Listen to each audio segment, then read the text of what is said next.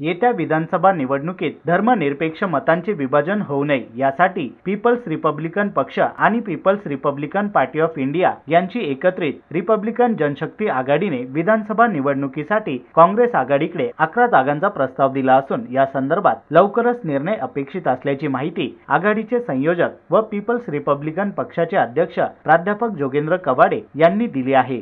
नाशिकमध्ये येत्या सतरा ऑगस्ट रोजी होणारा महामेळावा राज्यातील महापूर परिस्थितीमुळे स्थगित करण्यात आल्याचेही ते म्हणाले. नाशिक दौऱ्यावर आलेल्या प्राध्यापक कवाडे यांनी पत्रकारांशी संवाद साधला. ते म्हणाले उपेक्षित घटकांना न्याय देण्यासाठी आमची बांधिलकी असून तशा विचार प्रणालीच्या पक्षांच्या सोबत राहण्याचा निर्णय घेण्यात आला आहे. लोकसभा निवडणुकीप्रमाणेच येत्या विधानसभा निवडणुकीतही रिपब्लिकन आघाडीने दोन्ही काँग्रेस सोबत राहण्याचे ठरविले आहे. धर्मनिरपेक्ष मतांचे विभाजन होऊ नये. हा त्यामागचा प्रयत्न आहे. या आघाडीत बहुजन वंचित आघाडी किंवा धर्मनिरपेक्ष विचारांचे आणखी कोणी आमच्यासोबत आले तर त्यांचे स्वागतच असेल. चळवळीतील सर्व नेत्यांनी अहंकार बाजूला ठेवून सत्ताधारी पक्षांना बाजूला ठेवण्यासाठी एकत्रित आले पाहिजे. या प्रसंगी शशिकांत उनवणे गणेश उनवणे यांच्यासह पदाधिकारी उपस्थित होते.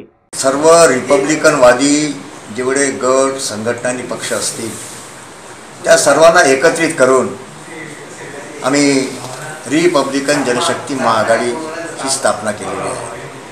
पीपल्स रिपब्लिकन पक्ष आणि नानासाहेब इंदिसे यांच्या नेतृत्वातील रिपब्लिकन पार्टी ऑफ इंडिया ऐक्यवादी आम्ही दोघं निमंत्रक आहोत. आम्ही रिपब्लिकन चळवळीतील रिपब्लिकन पक्ष असतील संघटना असतील गट त्या सर्व एकत्रित करून जी रिपब्लिकन जनशक्ती महाआघाडी निर्माण केलेली आहे या महाआघाडीच्या वतीनं. नाशिक या ठिकाणी या शहरामध्ये या सतरा ऑगस्टला रिपब्लिकन जनशक्ती महामेळाव्याचं आयोजन केलेलं होतं.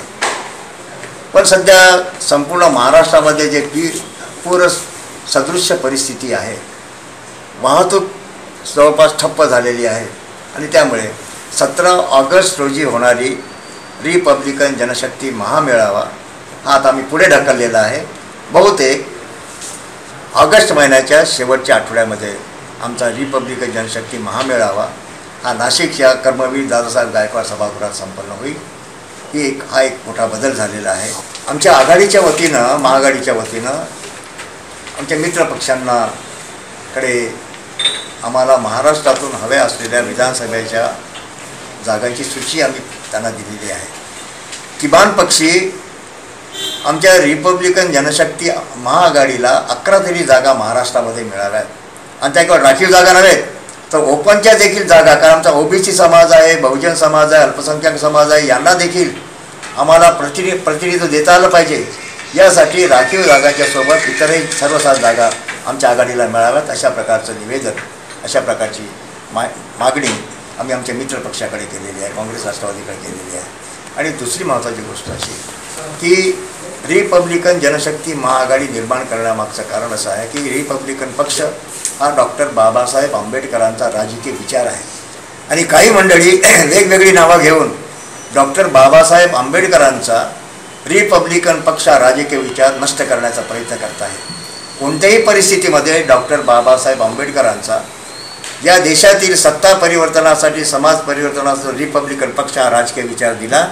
हा राजकीय विचार स्वाभिमानपूर्वक ताट मानेने शक्तिशालीपणे या देशात उभा राहिला पाहिजे. हा आमचा प्रयत्न आहे. आणि यातूनच रिपब्लिकन जनशक्ती महाआघाडी आम्ही निर्माण केलेली आहे. सर्वांचा चांगला प्रतिसाद मिळतो आहे.